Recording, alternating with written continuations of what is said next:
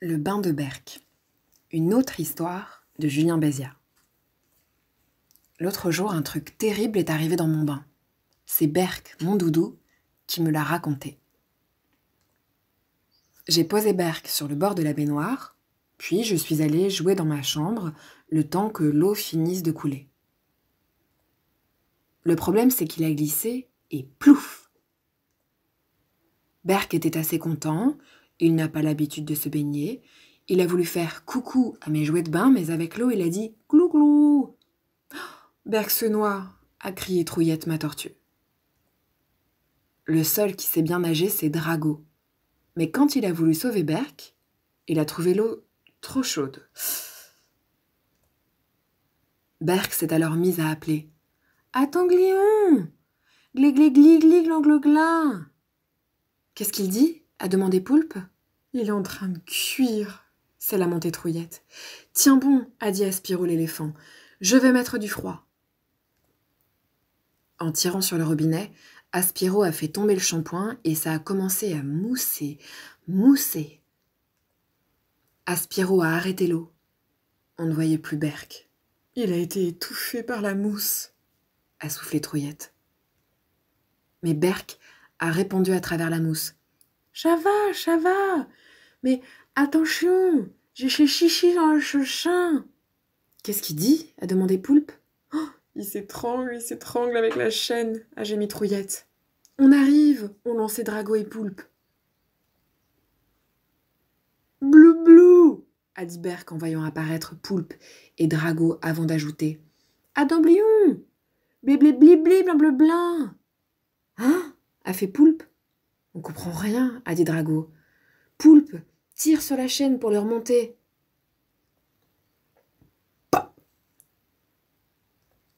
L'eau s'est alors mise à tourner, tourner, en faisant. Sur le bord, Trouillette a hurlé. Ah, c'est la fin, la baignoire les avale. Aspiro a alors pris son élan et il a bouché la baignoire avec son gros derrière. Ensuite, il s'est mis à aspirer l'eau du bain de toutes ses forces jusqu'à gonfler comme un ballon. Dans la baignoire, il n'y avait presque plus d'eau et Berck était sain et sauf. Oh, tu nous as fait peur lui a dit Drago. Merci, mais faites pas vous inquiéter, a répondu Berck. Je me suis bien amusé. Et je voulais juste vous dire attention, j'ai fait pipi dans le bain.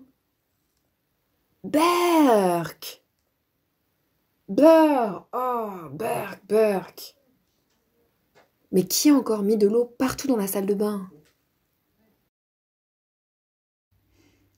La nuit de Berck. Une histoire de Julien Béziat. L'autre jour, un truc terrible est arrivé à l'école. C'est Berck, mon canard, qui me l'a raconté. Je ne sais pas comment j'ai fait, mais j'ai oublié Berck dans la caisse à doudou. Tu le retrouveras demain, il ne peut rien lui arriver, ont dit mes parents le soir pour me rassurer. La nuit est tombée sur l'école. Un croco sac à dos avait été oublié lui aussi. On va pas rester là, Croc, allez viens, on va se balader, a proposé Berck. Ils ont ouvert la porte de la classe. Ouh Y a quelqu'un? a fait Berck. Et Croc a bredouillé. Tu, tu, tu, tu crois vraiment qu'il peut y avoir quelqu'un là? Berk a voulu allumer la lampe sur le bureau de la maîtresse. Mais il a glissé et badaboum, blanc, splatch Ouf, pas de mal, a dit Croc. Mais Berk, j'ai atterri dans la poubelle. Et toi, ça va? Oui, a répondu Berk. Je suis tombé dans un truc mou. On va prendre la lampe, elle marche encore. En avançant, Croc et Berk ont alors entendu quelque chose de bizarre. Sprouch Sprouch, sprouch. Croc a bégayé. Qu'est-ce que c'est que ça là? Qu'est-ce que c'est? On dirait un bruit de grosses pattes qui écrabouillent, dit Berk. Sprouch, sprouch. Berk a chuchoté. On dirait plutôt des ogres qui mâchouillent ou des sorcières qui bidouillent. Puis Berk a levé la tête. Oh Regarde, Croc, on dirait. Non, arrête, j'ai la trouille, a fait Croc en s'agrippant au fil de la lampe. Clac La lumière s'est alors éteinte d'un coup. Croc a crié Sors-nous de la berque On va être écrabouillé, mâchouillé et bidouillé. Sprouitch, sprouitch, sprouitch, sprouitch. Plus vite, le bruit accélère. Sprouitch, sprouitch, sprouitch, sprouitch, sprouitch. Clic. Berk a trouvé la lumière. Mais qu'est-ce que c'est que ce truc vert? Berk a alors regardé ses pieds. Il en a levé un, sprouch. Et puis l'autre, sprouch. Ah, on dirait qu'on a fait de la patouille, a dit Croc. Le lendemain matin, j'ai trouvé Berk avec Croc. Ils étaient pleins de peinture verte, mais heureusement, il n'y en avait plus du tout dans la classe, aucune tâche. Ils avaient passé le reste de la nuit à tout nettoyer. Enfin, presque tout.